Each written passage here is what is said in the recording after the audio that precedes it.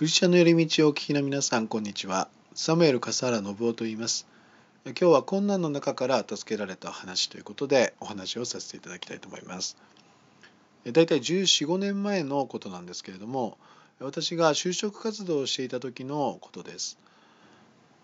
その当時はですね、就職が難しい、就職難と言われ始めた時代でして、まあ、今ももちろん就職難だというふうに思いますがその当時はですね就職難と言われ始めた時ででちょうどですねなかなか就職ができないというふうにこの言っている友達がたくさんいたりニュースでもですね就職できない人がたくさん出てきているっていうような報道が流れているようなそういったこの状況でした。ですからこの就職が厳しいという状況だったんですけれども私の中ではですねそれとともにさらにこの厳しい状況っていうのがあったんですね。それは何かと言いますと実は私は大学1年生で大学を中退してしまいましてでそれで就職に臨むというような状況だったんです。で私は大学の前高校は普通科の高校を卒業して特に資格も取ってませんでしたし大学でも中退なので、まあ、卒業したりとかいうこともありませんでしたから資格も取ってませんしそして専門学校にも行っていませんでした。で当時はですね、えーと、今もそうだと思いますが企業が即戦力を求めるということで結構この専門学校を卒業してだからその専門職の手に職をつけるというか技術をつけて会社に入っていく人たちも結構いたんですね周りに私の友達には。私にはでもそういうこともありませんでした。まあ、私が持っている資格といえばそうですね。えっとそろばん4級とかですかね。ですからそんなに役に立たないと言いますか。ですからもうないに等しいということです。でそんな中で就職活動を始めていきました。ハローワークに登録をしてで就職活動していったんですけれどもやはりですね現実は厳しくて全然見つからなかったんですね。であの見つからないというよりももう面接すらしてもらえるようなところもなくてもうどうなっちゃうんだろうなっていうような状況がありました。で私の生活といえばですねもうだんだん就職もできない見つからないということになってきてだんだんだんだんこう何て言うんですかね中だるみと言いますかだらっとしてきてしまってもう家の中で寝て起きて寝て起きての繰り返しそして起きてテレビを見てご飯食べてお菓子食べてそしてあのまた寝てゴロゴロしてゴロゴロしてそしておやすみなさい。で朝を迎えるみたいなですね。そんな生活をこう続けていたんですね。でそれをもう見ていたうちの両親がですねあまりにも心配になってあの当時行っていた教会の牧師ご夫妻に相談していたそうです。この子の将来この子の人生はどうなってしまうんでしょうか。本当にこの子は大丈夫なんでしょうかってですね。であの後でそれを聞いたんですけれども祈ってもらっていたっていうことを聞きました。それぐらい周りから見てもひどい状況だったんだと思います。ただ私本人はもう非常に困難の中にいるっていう状況をもう明確に私としては感じていまして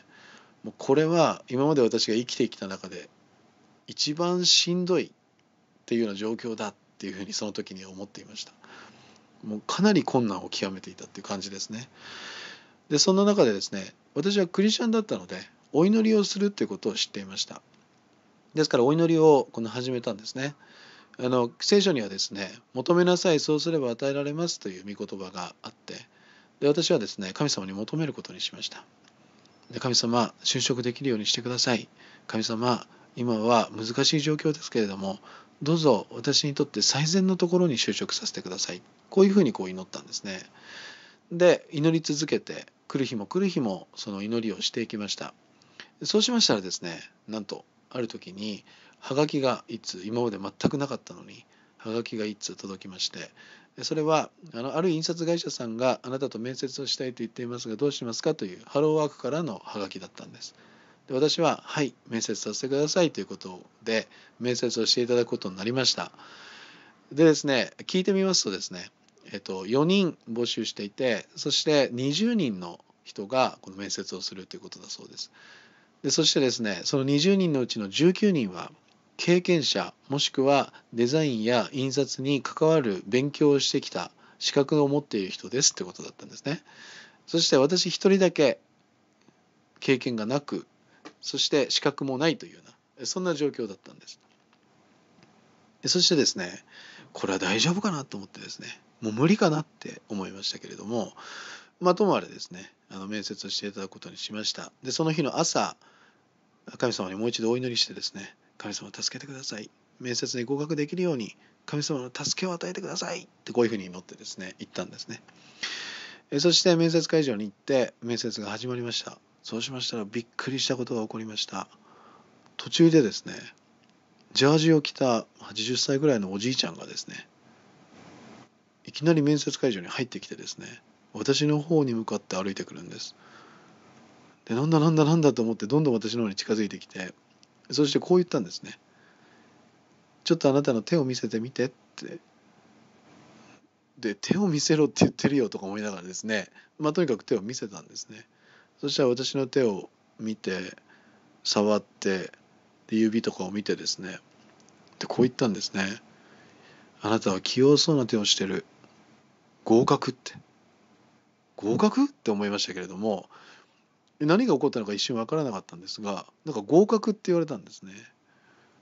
で私はそれで面接に合格して入社することになりました。こんなことありますかね？びっくりしました。で後で聞いてみたらその人がですね実はその会社の社長さんで職人の方でそしてですねどうやら他の面接の時には一回も来られなくて。私の面接の時だけ来られて手を見て器用だから器用そうだから合格って言われたそうなんですね。で私はそれを聞いてですねびっくりしましてこんな面接の合格の仕方があるのかって思いましてですねで神様にこの感謝しましたこれはもう明らかに私は神様にお祈りをしていた祈りの答えで私のようにこの資格もなければもう経験もないような人間が合格できるような状況ではなかったはずなのに神様はですね祈りに応えてくださって面接をこの通過させてくれてそして就職することができたんですね。祈りが聞かれたなって本当に思いました。でそれだけではなくてですね私はもうびっくりしたことがあります。その後私はこの会社でデザインの仕事とそしてコンピューターに関わる仕事をさせていただくんですが私はこの何もそういったことは知らなかったので勉強させていただいたんですね。でこれは驚きでした。なぜならもしも私が専門学校に行っていたら専門学校で学ぶ学費っていうのは必要です。